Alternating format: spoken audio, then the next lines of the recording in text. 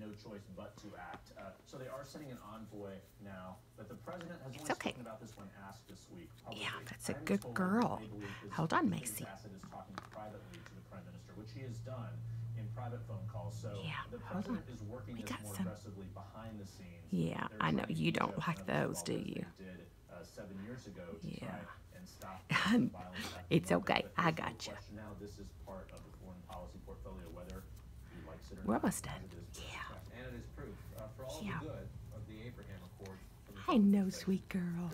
I know, darling. It's important. You can't fix Hold on.